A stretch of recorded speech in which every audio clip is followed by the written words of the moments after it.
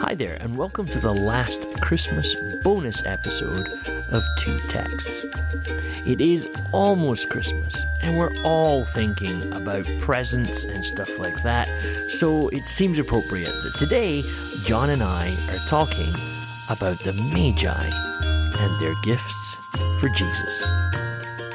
So, David, we are back. We had a fantastic chat earlier this week about Joseph. Oh, I just loved that. And I have to say, I, I was. I think the two of us could have kept talking about Joseph for a wee while longer there. That was what a story. And He doesn't never say speaks- anything. We had a lot to say about him. it's, it's true. I was just a bit. You took the words right out of my oh, mouth. Sorry. No, no, no, you're okay. It's it's it's probably a sign that we are we are syncing almost automatically together. So yes, absolutely. He, he never speaks, but but we did a little bit of speaking on his behalf, and his actions were oh my goodness, just magnificent actions within mm. that. But we're going to try and nudge in a little bit to another part of what's sometimes called the Christmas story, and that's the visit of the Magi, and and see what we can pull from that. So so we go from this gorgeous finish at the end of chapter one of Matthew, but uh, he did not consummate their marriage until he gave birth to a son and he gave him the name Jesus. And then it's straight in to this beautiful story of the Magi. So, do you want to read that for us and let's see where we go?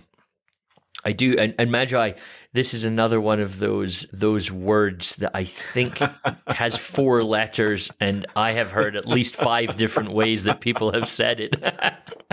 Yes, the Maggies. That'd be great. Yes. Absolutely. yes, I, I remember uh, my. In fact, it was our. We both were. I think we both were taught by by the same New Testament lecturer in our early days. I remember him telling us once, "It's a hard G. Latin doesn't have a soft G," and the entire class promptly ignored him and said, "We're not going around talking about the Maggie." so so magi is and, um, so matthew chapter 2 and verse 1 yeah, after jesus was born in bethlehem in judea during the time of king herod magi from the east came to jerusalem and asked where is the one who has been born king of the jews? We saw his star when it rose and have come to worship him. When king herod heard this he was disturbed and all jerusalem with him when he had called together all the people's chief priests and teachers of the law, he asked them where the Messiah was to be born. In Bethlehem in Judea, they replied, for this is what the prophet has written. But you, Bethlehem, in the land of Judah, are by no means least amongst the rulers of Judah, for out of you will come a ruler who will shepherd my people Israel. So then Herod called the Magi secretly and found out from them the exact time the star had appeared. He sent them to Bethlehem and said, Go and search carefully for the child. As soon as you find him, report to me so that I too may go and worship him. After they heard the king, they went on their way, and the star they had seen when it rose went ahead of them until it stopped over the place where the child was. When they saw the star, they were overjoyed. On coming to the house, they saw the child with his mother Mary, and they bowed down and worshipped him. Then they opened their treasures and presented him with gifts of gold, frankincense, and myrrh. And having been warned in a dream not to go back to Herod, they returned to their country by another route. Beautiful. Beautiful. Yeah. There you go. Of course, this is this is sometimes referred to as the uh, epiphany, isn't it, David? It's this, Yes, this sense of a moment. I, I actually had a fresh look at the definition of epiphany: a moment of sudden and great revelation or realization. Oh, I love that. Yes. An epiphany, and of course, we we see it. We sort of see a lot of seeing, a lot of moments of realization happening in the story, which is which is absolutely beautiful. But we last time we talked about the fact that we, we take the different gospel stories and we sort of amalgamate them together. And this is probably one of those stories that suffered from having its chronology uh, nudged a little bit. The the the the magi arriving with the shepherds, etc., which Yes, which we're true. fairly confident and embarrassing the shepherds because their gifts are a little better. Absolutely, yeah. The shepherds have like not even wrapped anything, and these boys are rocking up with serious gold plated gifts. So, so it, it, it is well, it's it is worth. It's a story worth sort of pulling out of.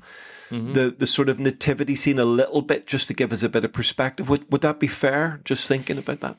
Yes, I mean there's a, there's quite a few things that that we do that that creates this. I mean, if you read Matthew and forget the story, right? If you forget everything you saw in your school play, Matthew does give you quite a bit of evidence that that actually this happens a, a, quite a while later, right? quite mm. quite a while later, and even in the traditions of how we. Um, how we celebrate Christmas actually if you if you lean into the more traditional ways of, of celebrating Christmas this is how this the story is told over a period of time. I get myself on my my high horse here John but like I think it's it's almost it helps people sometimes to know this that essentially this sort of there's a period of time of four Sundays leading up to Christmas Eve that is known as Advent, right? And and mm. that's it's that period of time from the, sort of roughly the end of November, beginning of December, those four Sundays, and then whatever space is left between those four Sundays and then Christmas Eve. And Advent ends at the end of Christmas Eve in the in the classic church calendar then at that point. And mm-hmm. that's why if you remember when we were kids, Advent calendars didn't have a 25th on them, right? True, Advent calendars true. ended on the 24th. Where true. all these all these kids these days get an extra chocolate on the 25th, right? And so so there's this sense that that the reason that was, in case you wonder when you were a kid, why did we only? Because that was an Advent calendar, and it counts down the days, the days to the end of Advent and the beginning of Christmas. And in the Christian tradition, and we're going back hundreds of years that this has been celebrated for, Christmas is a 12 day long festival, hence the song, The 12 Days of Christmas, mm-hmm. which a lot of people think is a 12 day countdown to Christmas. But actually, here's the funny thing. I hear people all the time, time saying these days, oh my goodness, they make they make Christmas such a big deal nowadays. It's one day in December. And I was going to say, no, no, Christmas is 12 days long. and the 12 days of Christmas start on the 25th mm-hmm. and end 12 days later on a festival the church knows as Epiphany, uh, the day that we remember the, the, the arrival of the of, of, of these of these magi. And now, so for me, that's really fascinating because what it allows you to do if you follow that tradition is tell the story as it goes. So you yes. keep this sense of, oh, there's gaps and there's space in time between this. So, I mean, this podcast is not about me defending tradition, but, but it's about it, sometimes you see the reason the traditions are is to help us keep some of the story straight in our mind rather than cramming everybody around the nativity scene. now, to be clear, I love nativity scenes. Of course. Because actually, what we have to realize when you look at a nativity scene is it's not like a historical snapshot of the moment. It's here are all the characters that were in play, and and therefore it reminds us to tell the story to our children, doesn't it? Of course. Oh, it's beautiful. I mean, I've I've had the privilege of going to uh, visit the Vatican and stood in the Sistine Chapel and looked at the ceiling uh, of Michelangelo's magnificent pictures and uh, paintings, mm. and you realize, my goodness, he was a magnificent artist, not necessarily a great theologian, um, according to some of his representation. And I think the nativity scene, it's sort of that's what's happened to it over the years. A whole bunch mm. of stuff has just morphed into the story, and you end up with something well, we all love it. We all go, ooh, oh yeah, absolutely. But technically, it's not really. This is not really what happened, and and uh, you know that w- without bursting anybody's bubble, it's this sort of story helps us to pull that timeline out a little bit. Well, notice verse that. eleven. Notice verse eleven. Just let me let me say the most controversial thing we'll ever on. say on, on on two texts. But notice verse eleven they're in a house, not a stable. yes. And if anyone if anyone wants some real outstanding scholarship on that, let, us take you back to one of our book recommendations a long time yes. ago, Kenneth Bailey, Jesus mm. through Middle Eastern Eyes, and he will explain in just so many wonderful ways that the whole myth of the inn and the innkeeper, it just it, it's even culturally it's a bit unusual for mm. that uh, age and that time. And his explanation will help end Yes. to understand that and connect the dots to verses like this. So that's well worth a look without us turning this into an explanation of the difference between uh, a cave, an inn, and the house. So Yes. there we are. So, so these, so a couple of things I, I spot just in this text, John, that, that are really are really quite interesting. There's there's there's one verse three when King Herod heard this, he was disturbed, and all Jerusalem with him. Like you know that you're a despot when, when you get worried, and everybody else is worried because you're worried. Absolutely. As Caesar once said of Herod, safer to be his pig than his son. Yes, He was a bit of a megalomaniac, a man given to extreme behavior. And of course, we see that uh, some, he, he erected magnificent buildings. And then we see him not in the reading that we've had, but as a result of the Magi's sort of redirection away from him, just an act of complete madness and terror, where he kills all the boys under two in the vicinity. Hence which also gives us a slight insight into potentially the passage of time Yes. that that they that they this could be anything up to two years after the birth of Jesus. Yes, yes. And so in Herod, and he's sometimes referred to as Herod the Great. I, I do think that's slight oxymoron, but there we are. I- I- hmm. In Herod the Great, you do have someone who has the propensity to protect his power using any means whatsoever. And he is an incredible person. He survives against all the odds. He manages to position himself incredibly with the Romans and creates a seat of power for himself that he doesn't want anybody taken away, especially this king of the mm-hmm. Jews. So, so you, you, you've you've really got a, a huge subtext sort of going on here at the center of this story as well, which of course is really beautiful because it, it I, I think you read Jesus then in the midst of political intrigue, religious debate. Mm. He is living under the boot of Rome. Jesus isn't exempt from all of these things. He literally, in, in the story following the Magi, he becomes a refugee from his own mm. country, ends up in Egypt to get away from uh, Herod's family and Herod's grasp. So, so immediately the, in the story we're thrust into the polarization of the society of Jesus, the vulnerability that the people were under, and the world that Jesus would have grown up in. And and Matthew introduces all of that to us immediately in the story. And that lovely, soft, fluffy postcard scene of of the Christmas nativity suddenly gets a little bit dark around the edges mm. because the visit of the Magi also heralds a threat directly to the life of Jesus as a baby, mm. as a boy.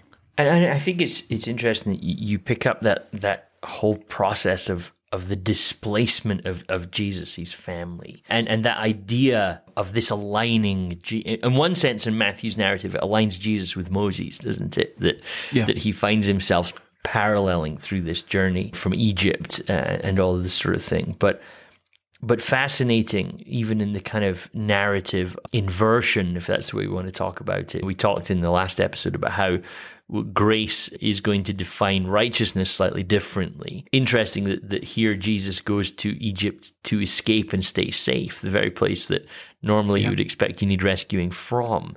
So there's a subtle commentary in almost into how bad things have gotten in israel hmm. that go back to egypt for safety because israel isn't the safe place anymore. But i do think it's interesting when you were re- when you made those comments i was thinking about this kind of text within scripture about how jesus is tested in every way. And you think goodness here we even find jesus who can align himself with the refugees, the displaced, the marginalized, because his own beginning of his own life. And then, of course, a huge challenge for us, without trying to be overly political, John, but a huge challenge for us is that our views on refugees and immigrants and, and all that sort of thing perhaps could be colored by this story because because this is who Jesus was as well. It- It's very it's got some real depth to it for us to ponder, hasn't it? Well, it has uh, at the heart of what we sometimes call the Christmas story, you have real darkness Hmm. and tragedy. So we've reflected on Jesus being the light that would come into the darkness. The darkness didn't understand it and comprehend it. And we we love to interpret all of that stuff very, very spiritually, a spiritual mm. darkness and spiritual light. But but the light is also shining in a a a season of history that is mm. really dark and vicious and nasty and where human rights and mm. civil rights and even religious rights are being trampled on. And when you have a megalomaniac like Herod, who even the Romans go, we're not quite sure we like this guy all that much. I mean, when mm. Herod the Great passes away, his son, the, the, the sort of Israel in that sense is divided amongst his his sons, and one of his sons is so distasteful to the Romans that they remove him and put Pilate in his place. Now, when the Romans are removing you because you're not really that nice, I mean, you are seriously in trouble as far as a sense of humanity is concerned. So, so Jesus, uh, the story of Jesus is magnificent. It's filled with hope. It's filled with life. It's filled with light. And yet there is a darkness to it here mm. that the Magi are right at the edge of. They, they unmistakably, they, they inadvertently open up this can of worms. In wishing to worship Jesus, they in, inevitably put him in danger yes. and they alert Herod to this moment that uh, then creates this terrible knock on effect of both mm. the destruction of children and the the evacuation of Mary, Joseph, and Jesus down to Egypt. So it's very, very dark and it has something to say to us and our attitudes to the darkness in our world and how innocent people are suffering horrifically because of the madness of individuals and people around the world that forced onto the back of trucks and into yeah. boats to try and find a better life. And and there's a uh, and the story actually I mean the whole nativity story speaks to some of the stuff that Jesus is going to do in his life, even in, in relation to the conversation we're having. I think about like Luke's story. You don't have magi in Luke's story. You have shepherds. Shepherds, shepherds are shepherds are as close to you get to being outcast from society without mm. actually being outcast from society. But we we imagine shepherds, and I think Jesus has rehabilitated the shepherd image. We've said this before in this podcast. Coming the angels coming to shepherds is a weird move, right? Yeah. Unless you're attempting to communicate that the tables are being turned, that Indeed. the people who were ignored are now are, are now not to be, eh, you know, are not going to be ignored in this new kingdom. And there's a level of that happening in Matthew chapter two as well, True. because. True there's definitely this sense that's going on here that oh by the way there's a new king and it's not herod.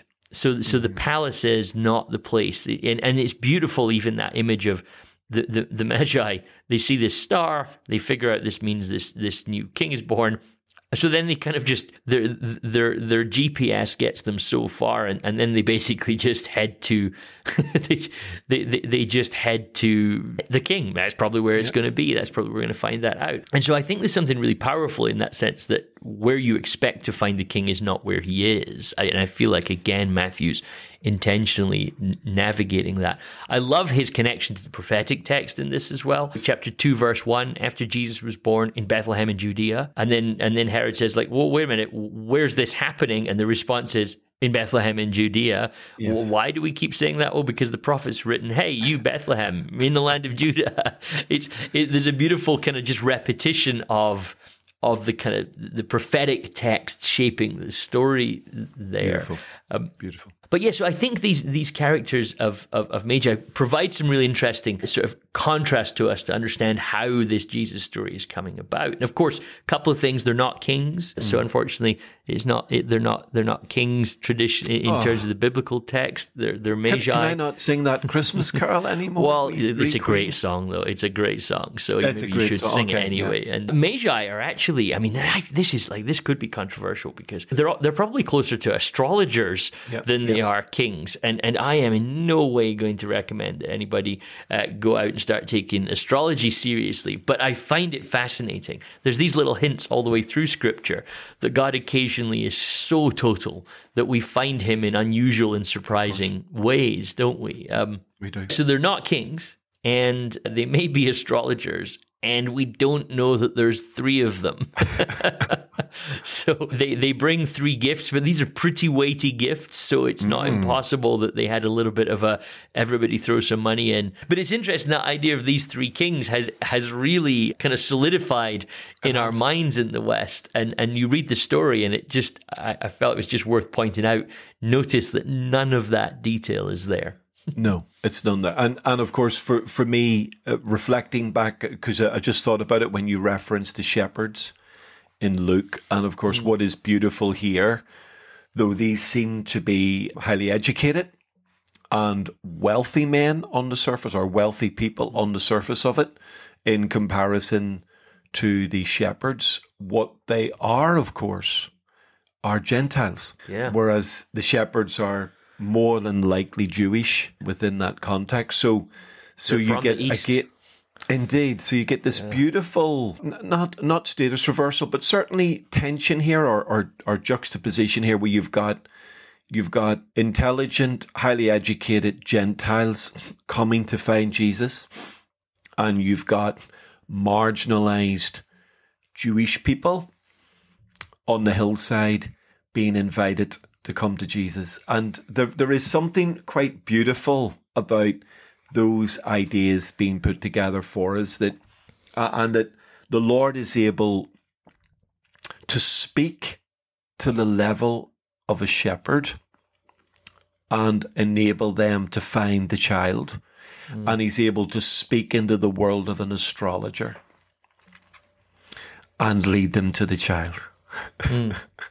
I, I do like the idea that the Lord is like multilingual, that he's he's he can he can do lots of communicating to lots of different people in lots of different ways. And we know that ultimately, in certainly the, the sort of the Christmas story, he wants to mm. communicate Jesus to the world.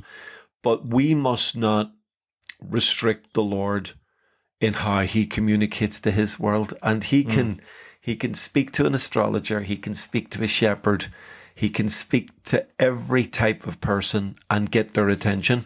Mm. And and of course I think that's something really beautiful that's at the heart of the the, the, the Christmas story, as it were. Of course, these astrologers come from the East. Uh, but that's it's brilliant how Matthew doesn't even make such a big deal of that. And I wonder, going back to what we talked about in the last episode, the mm. genealogy. Well, well, Ruth comes from the yep. east, right? Mm-hmm. So, so actually, you're seeing again this holistic. God is with us. He is saving people, and He's drawing people from all sorts of different places. But is Matthew, with his genealogical intro, saying, "Oh, and by the way, this isn't entirely new. Your favorite King David." Well, his grandma, she was from there too. and, and and maybe even a nudge a nudge further on that, David, is that the area they came from would have been an area of the world that historically the Jewish people were exiled into. Mm-hmm.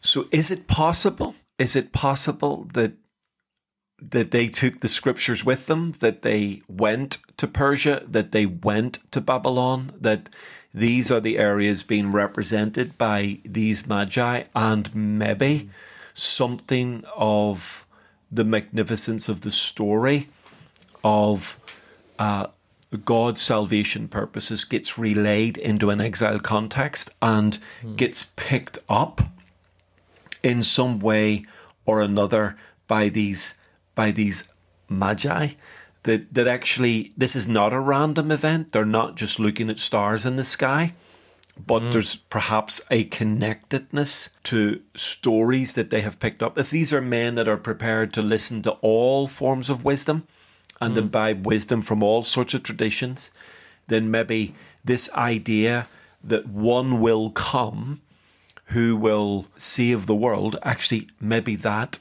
maybe that is also part of that post exilic legacy. Might be a stretch too far, but I certainly think it, it's it's something worth considering. I love the notion in Jeremiah 29 where the Israelites, well, the, sorry, the people of, of, of God are, are told to seek the welfare of the place where they are, Yeah. to seek the shalom of, of Yeah. the peace, uh, the wholeness of the place that they are. I love this idea that in the process of doing that, they leave behind their ideas. And so, like you say, it, it's in it's in the silence, isn't it? But but somehow these these magi are expecting something. They they they knew it was coming. They've and of course, like you say, the huge elements of the the messianic prophetic texts hmm. are written by in a displaced context in a they're they're away from home they're in the east somewhere they're they're yeah so no i love i love the i love the possibility of that john i think that's kind of that's kind of exciting Yeah, it's it's just one of those because because of course they they didn't just deposit and then leave again. The, the the evidence shows that not everyone returned after exile. That actually Jewish communities within the exilic arena thrived, Yes. continued to thrive within that, and and Yes. maybe, maybe, maybe, maybe. Out of the horror of the exile comes something of a seed of hope, which these men eventually are the beneficiaries of. So it's just a thought. It's maybe a wild thought, but it's Yeah. worth a consideration, I think. i love it I, I, I think for me, one of the beautiful things, David, is uh, in verse 2, it's such a simple thing, really, but it is a striking thing. And it says, it just says, Where is the one who has been born King of the Jews? We saw his star. We saw his star when it rose and have come um, to worship him. And, and of course, we're not quite sure what, what they saw, but there's all sorts of conjectures and theories. But when you think of the size of the universe, the thousands of stars that these men would, would have seen, I, I did a little bit of sort of research on this, and, and they, they, they reckon that the naked eye can see approximately 5,000 stars on a clear night. So if you've got hmm. no light pollution and it's no clouds and you look up, you're just the cast of your eye if you can see approximately 5,000 stars are in your eye gate with that, which is an incredible idea. Hmm. In, in our in our galaxy, the Milky Way, there's an estimated 200 billion stars. so we're not seeing Okay. many of them there's apparently, and I don't know how they work this out, but greater brains than me will explain this. But they estimate there's a hundred billion galaxies, right? wow And now, uh, if my math is right, that's like twenty thousand billion stars Hmm. in the known universe. Okay. Hmm. Now, what, however, these these wonderful men saw the stars, they saw something extraordinary. Hmm. They saw something different. They saw something that stood Mm. out. Now I know we've had movies and and all sorts of attempts creatively and artistically to sort of portray that, but it must have been something uh, that caught their attention in the midst of a universe of twenty thousand billion stars to see that star. And and, and I know we, we can't sort of go beyond but I, love their language. They didn't just say we saw a star, but they said we saw his star. Mm. I, I love that. Uh, and is is that that's part of their epiphany moment? I, I don't know. It's but but for me again, the Lord gets their attention through something they understand, and and draws them draws them forth. I love that. And then th- there is a, a, connection back. In fact, I, I think you'll you'll often see that if you look at the footnotes in your Bible, it actually takes you right back to the the prophecy of, of Balaam, doesn't it? In Numbers twenty four, this idea of a star that comes out of Jacob and a scepter Yep. that rises out of out of Israel. So there's there's connections again that, that this you've got this idea of why have these magi been looking for a star even well, Yeah. what what has been and, and this sense that well actually if you're rooted in the text of torah that's not a completely far out idea that mm. something mm. in the heavens will will point us towards the right way That's beautiful. And, and and and I love there's a beautiful one of my favorite psalms is Psalm 19 verse 7 the law of the Lord is perfect reviving the soul it's part of my morning confessions when I'm reading the Bible but the psalm begins in this most magnificent way listen to these words David the heavens declare the glory of God hmm. the skies proclaim the works of his hands. Day after day, they f- pour forth speech. Night after night, they reveal knowledge. They have no speech. They use no words. No sound is hmm. heard from them. Yet their voice goes out into all the earth and their words to the ends of the world. Now, I, I'm going to use a bit of poetic license here, but I love the thought that not only do we understand this generically, that we can stand in our street or our back garden and look up and hear their voice, the voice of the stars as it goes out into all the earth. But but I love the idea poetically. I hope I'm not overcooking the text that this star called to them. This star spoke to them, not not in words, mm. but this star speaks to them. It draws them. This star mm. of Jacob is calling to these Gentiles, and here you have these Gentile men so aware that something extraordinary is going to happen mm. that when a star starts to speak to them, that they are prepared to literally travel hundreds of miles, possibly even thousands of miles, uh, to mm. get. To, I mean, it's it's a when you think about it, they're they're leaving their homes, they're leaving their livelihood, they're leaving safety, they're venturing into strange territory. They are men on a mission and are so consumed by the star speaking to them that they're prepared to travel uh, in relative terms halfway across the earth mm. in order to find where this star is landing. It's, mm. it's a mm. magnificent idea that hungry, these men were hungry. These men were searching. They, we, we, we've alluded to John, haven't we? His, he came to his own and they didn't recognize him. Here's, mm. here's men that are recognizing him or recognizing something that, that, and yet they're not they're not his own. It's just, I think there's a beautiful, and especially that coming from Matthew. I would expected the Magi story to be in Luke, Gentiles rocking up with gifts, spotting Jesus. I, but to see Matthew include the idea of the Magi, the Gentiles turning up because of his star. I think it's mm. a beautiful, beautiful idea. When you were talking about all of the galaxies in that, ironically or unsurprisingly, perhaps it was it was Psalm 19:1 that came to my mind when you were talking there as well. And this might just be right.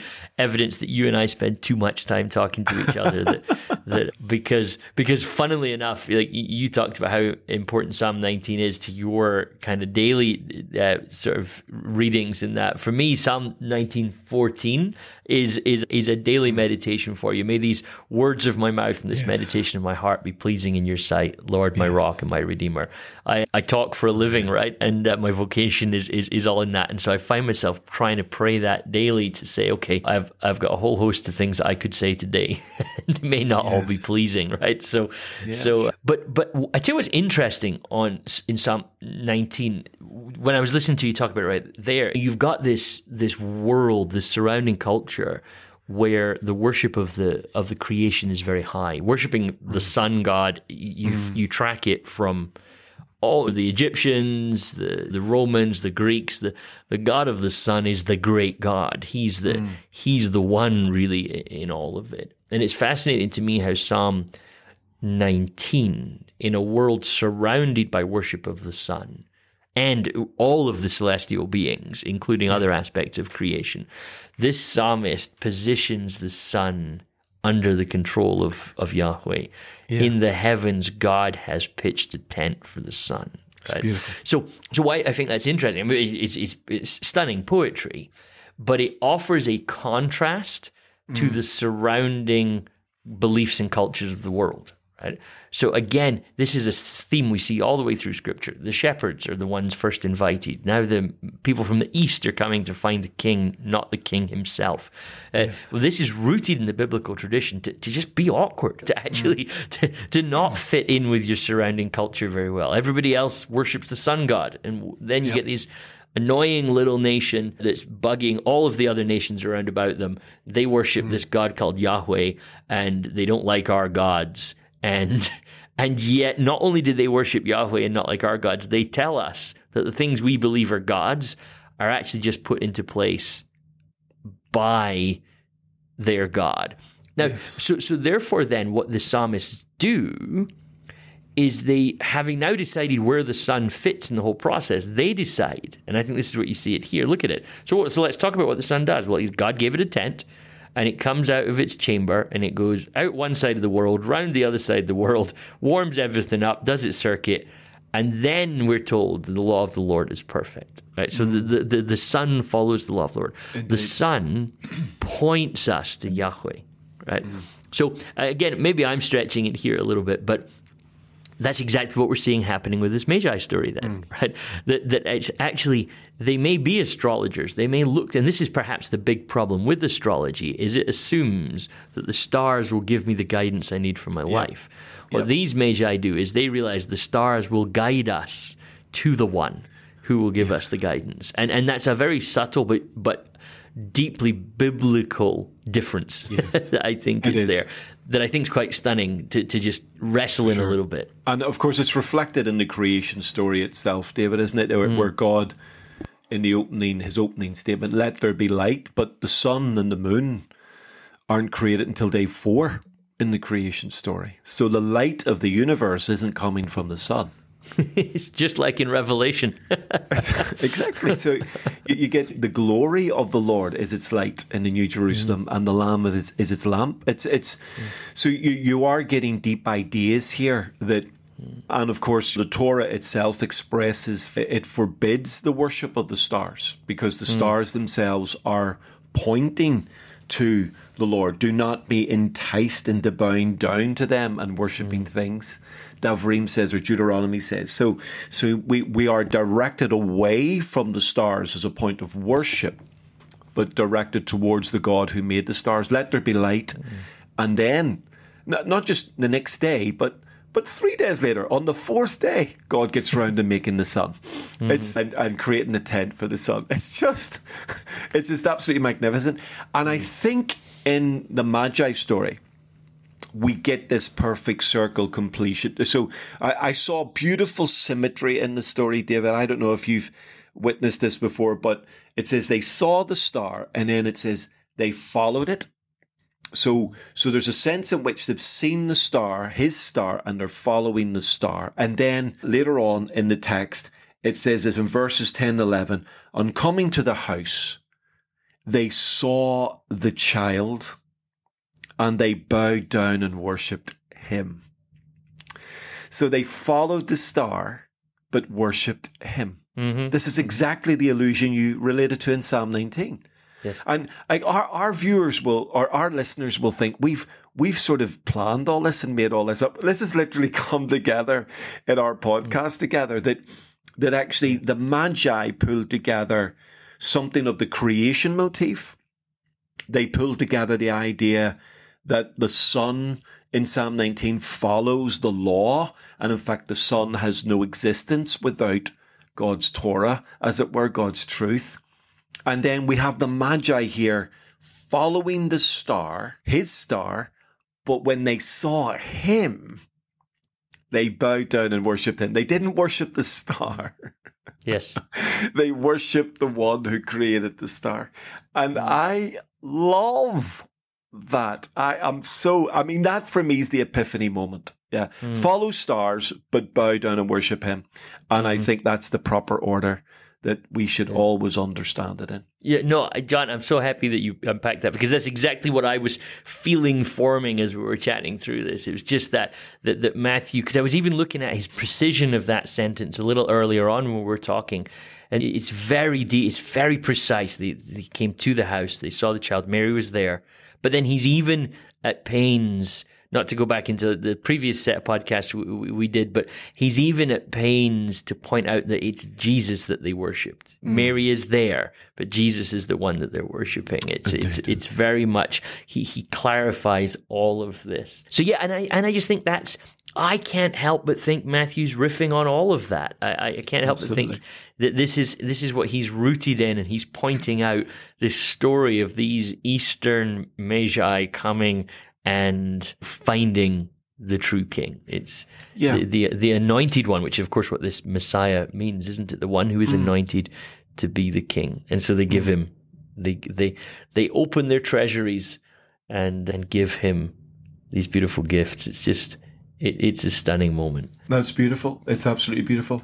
And isn't it striking again that just as Joseph, we, we get the sort of the four dream so, uh, sequence with mm-hmm. Joseph. These guys are warned in a dream that that that dream motif and and and flow is very very evident. Just as in in Luke, we get the sort of impact of the life of the spirit moving uh, as as an agent in that side of the story we get these magnificent sort of dream encounters that they have, and it's a way of God speaking to them and and sort of directing them in that. David, is it is it worth as we sort of probably draw this this podcast to a close? Is it worth us saying anything about the gifts of the Magi? The gold, I'm, the frankincense, the myrrh. Well, yeah, I, I think it. I think it is. There's because there's stuff to say there. I mean, they opened their treasuries. I, I had never noticed this before, John, until I was prepping for for this uh, podcast. But the the Greek word for treasuries uh, for their treasury boxes is is thesaurus. oh wow, there I'd, we are. Yeah, which I'd never really never kind of that. engaged that that's what a thesaurus is, a treasury of words. But so given that it's a treasury of words, and we have things to say, we we should. So yeah, unpack because there's a few little moments around those three gifts that I think are, are significant, aren't they? Well, yeah. I mean, obviously, I think the three gifts have led into the idea that there are there are three sort of people there, yes. which may may in fact affirm that idea. So it's nothing that we would want to fall out on. But of course, they isn't it interesting? The three gifts are distinct. Mm-hmm. They are unique. Uh, there's no crossover. It there does feel like an intentionality in these gifts that the, that, that these travelers, these magi, thought about what they were bringing before they actually brought them. And, and I do sort of love this idea that, that, that maybe, I suppose in some ways the gold speaks of kingship, this, this idea that he is the king of the Jews and they bring gold to honor a, a, king. Would that be a fair idea to think about uh, I within think so, that? Yeah, I think so. And then, of course, you've got the sort of the frankincense, which was often sort of an incense permitted in the altar of worship. You can you can find that in Shabbat and Exodus within that. So there, there's a sense of of worship being offered, and of course the myrrh. I hope I'm pronouncing that right, my Irish accent, but the myrrh often relates to the this part of the spices that are connected to the burial of an individual yes. as well. So you get this this gold maybe relating to his kingship, this frankincense, uh, a life of worship, a sweet smelling savor aroma being offered up to God. And then you've got myrrh perhaps pointing to something else. Now, I don't want to overcook those, but but of course, I, I love the idea that when the Bible gives us that level of detail, you think, is there something in that detail that we should be paying attention to? And I think I think those gifts may not only be gifts for the moment, but they may also speak prophetically into the life and mm-hmm. ministry of Jesus. And of course, at a practical level, they may also have helped the family survive. I mean, if yes. you're going to run off to Egypt, of course, for two years, well, uh, for a while, we don't know ex- exactly how long, but if you're going to be a refugee in Egypt, you're going to need some collateral. Joseph yes. may have got some work, but but they're going to need something. And certainly, we know that Mary and Joseph offered the poor offering at the temple when they brought Jesus to the temple. So so the the sort of the wealth that potentially could be within these gifts may have helped the family in their early struggles to survive those early struggles as well. A couple of just cross references to add there that may interest people in that sense. Of course, frankincense as well is becomes in Jewish tradition uh, an, an incense that that without going into too much detail, but an incense that becomes symbolic of the divine name. So you see that particular incense burnt in uh, in a couple of contexts. So which I think is is is interesting that they bring an incense to to to mm. Jesus. I think that's yeah. curious. But what really interests me is this this tradition in, that that Jewish um, uh, people would give wine mixed with myrrh to people who are being crucified to try and essentially well, just get them very drunk so that they're not yeah, kind of yeah. on board with what's, not aware really of what's happening. So, so it's interesting that myrrh definitely pushes to the fun- these funeral traditions, but also potentially there's a little bit of a reference to a crucifixion tradition as mm. well. It's, it might be hanging around there. You can't make too much of that. And mm. then and then the final just cross reference, of course, is that in the what do you call it? The the holy anointing oil in Exodus 30, there's myrrh in there as well. Yeah. So so there's a few places if you just do a little bit of cross referencing, you can see, okay, you know, exactly as you were saying, John, all of these gifts have prophetic depth to them potentially. And it's hard to put your finger on, well, it definitely points to exactly this. But there's yes. a lot of resonances there, aren't there? There are. There are, and and again, if these, I, I suppose it points. Oh, oh, I suppose what I'm trying to lean into there is, if these men were looking for the star, hmm. if there was something in their world that was suggesting something's coming, and they're looking, and they're prepared to travel halfway around the world, and they're prepared to bring intentionally and deliberately the sort of gifts they bring, then these aren't random gifts. Hmm. There's yes. there's something even in their gifts that speaks to their understanding mm-hmm. of who Jesus is, which is potentially quite remarkable. If these are not simply, oh, let's take some gold, or that's it. But if these are gifts representative of the understanding of these travelers, these magi, it is mm. quite remarkable. And maybe rightly it's called the epiphany you know rightly it's it's handed to these men because mm. because they see something they understand something they've grasped something so significant about who Jesus is that they're prepared to travel so far at their own expense and bring such expensive gifts and then bow down and worship Jesus. It's the first, as far as I can see in Matthew, David, and I could be wrong, but as far as I can see in Matthew, it is the first Gentile act of worship mm. to Jesus. And I, am moved by that. I love, I love that. Yes. I, I love, I love this. That and this must have blown Joseph's mind and Mary's mind, as these travellers got off whatever beast they were travelling on, dusted themselves down and bowed mm. down to the child. Yeah. And I think symbolically, those magi represent every Gentile on earth. They, mm. that those who are far away can see his star, that those who yeah. are searching can find, and that those who are looking for the life of God that is contained within Jesus the Messiah can also bow down and worship and see for themselves that he is the King. So I, I, I love their story. Yeah. And I love the fact that it's part of our journey. And all of this whole story then transpires. Eventually, Herod dies, but his basically his son ends up in charge. And so, as a result, when the when the family do return, they decide to set up camp. Yeah. In this little place called Nazareth. Nazareth. the perfect hiding place. Yep. Can anything good come out of Nazareth? They say.